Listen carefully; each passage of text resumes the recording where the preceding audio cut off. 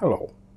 I recently picked up a few pieces of hi-fi equipment from a local second-hand shop. They have this junk pile for equipment that doesn't work and this is where I got this CD player and I have a few other pieces as well. So basically equipment they deemed not worth repairing or I think they're not even trying to repair it. So they have a lot of hi-fi equipment from the 80s, 90s, all the way back to the 70s. Um, and the junk pile, well, sometimes you can find some okay stuff there. There's never any really high-end stuff, but occasionally there will be okay pieces of equipment like this CD player here. So anyways, so it's not working. They do test it and well, it had a couple of stickers here uh, saying it's not working. It's very cheap. Uh, basically, the junk pile is just like they'd rather have someone buy it than having to send it to recycling. So let's see if we can get this thing up and running again. The model number is Sony CDP611. Uh, it's also known as the CDP D7. So let's try plug it in and see what happens. Cable here is a bit stiff, but not not too bad. It's not going to crack, I think. It's just a little bit stiff. Um, of course, I'm hoping that it's going to be something really simple. Often what happens is that the tray here, there's inside there's a small motor and there's a belt drive to open the tray. So when you click the open close button here, uh, maybe that belt is faulty. I'm hoping it's something really simple like that. Anyway, let's get some power on it. Okay, I plugged it into my dim bulb current limiter. I'll see, hit the power button, what happens? Oh, we do get something on the display here. So far it's looking good. You can see it says no disk. So let's see if it's the belt that's the problem. No, unfortunately the tray came out just fine and the belt is probably okay. Uh, let's try to get a CD in and see what happens. Maybe it's working.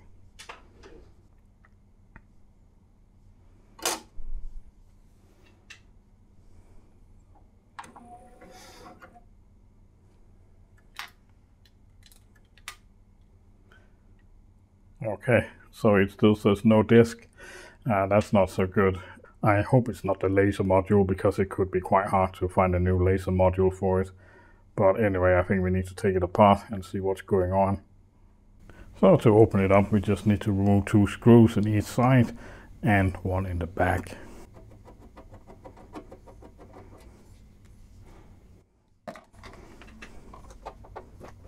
Then we can just lift the cover up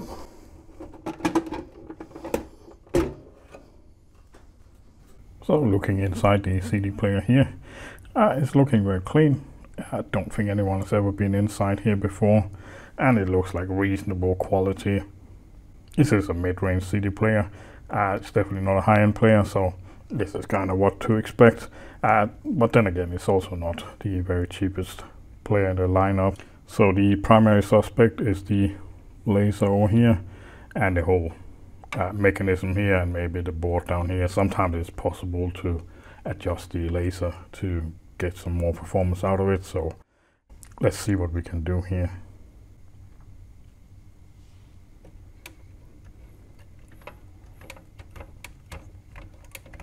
So it doesn't look like the laser is stuck. Uh, it looks like it's working okay.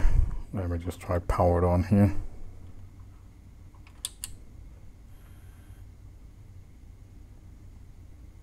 yeah, it's definitely moving. Just open the tray here, power it off again.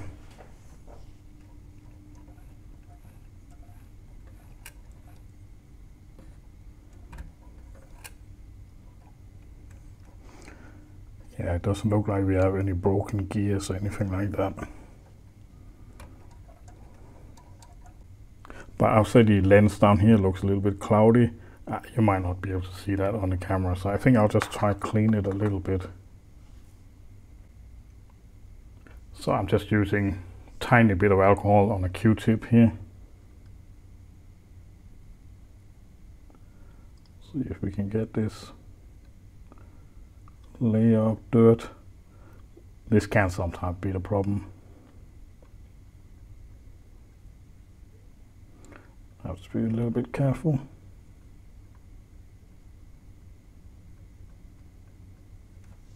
It's looking a bit more clear now. Uh, let's try and CD again, see if it made any changes.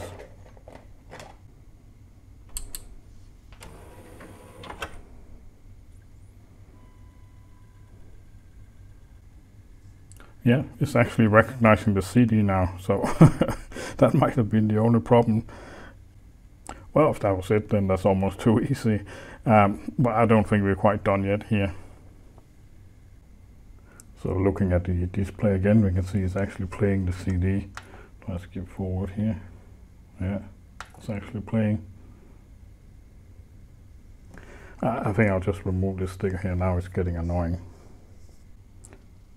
Again, I'm just using a little bit of alcohol here. I I remove the sticker. Hopefully.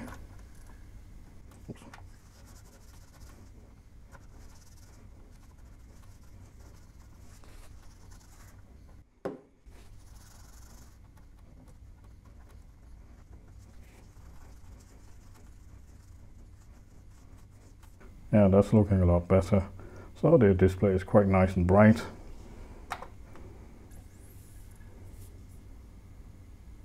And it does look like everything is working. Well, that was a very easy repair if that's all. Uh, but we still need to test it, make sure the outputs are working correctly, there's actually music coming out of it. So I'll hook it up and we can run some tests on it. I've hooked up my Analog Discovery to the output of the CD player and I have this CD here with various test tones uh, quite helpful for diagnosing a CD player.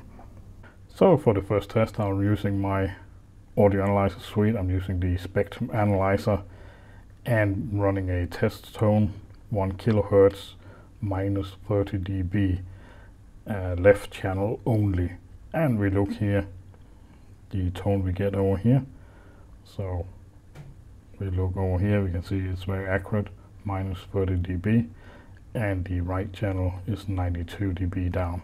Well, it might be further down, but we're down in the noise floor of the analog discovery. So that looks good.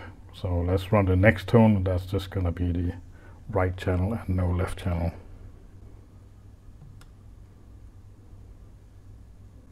And there we go.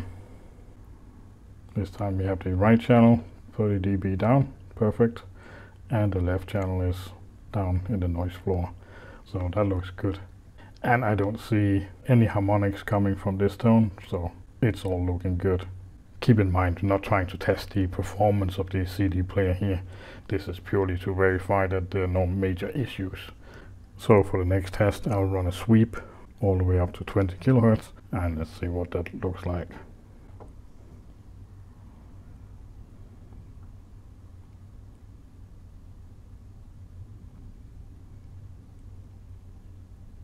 Yeah, it's looking flat.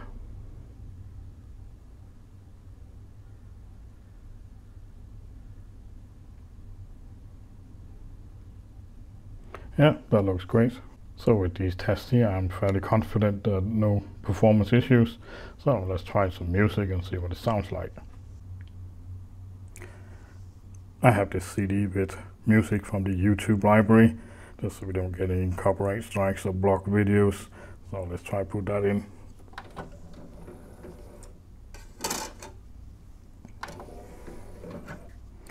So I think while playing that, it would be interesting. I'll try to see, give a sample of this DSP thing here that's built in this CD player. I guess this might have been attractive in the 90s, but to be honest, personally, I usually prefer just going direct. I don't need any DSP but I guess in some cases it can enhance the music experience.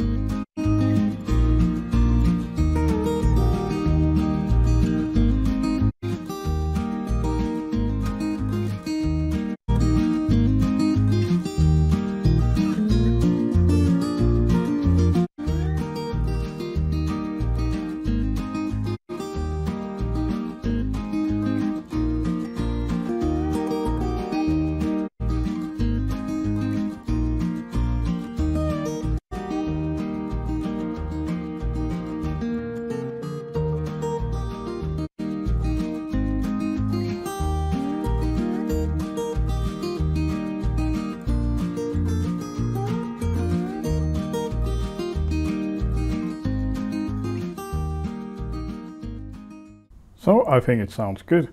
Uh, no problems there. Not so sure about the DSP, but I guess in some cases uh, it can make sense to use it.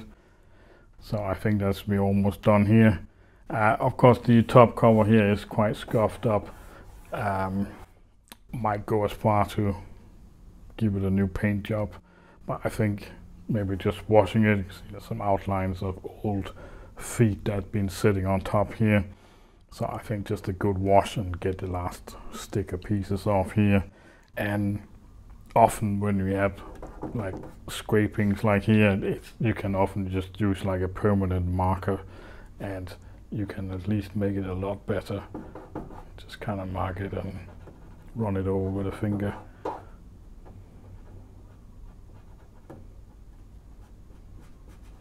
Usually improves it quite a lot. So I think that's it for this video. Uh, this CD player successfully brought back to life and fully tested and fully working. So thanks for watching. I hope you enjoyed the video. If you did, give a thumbs up, subscribe if you haven't already subscribed, and then I'll see you next time. Bye bye.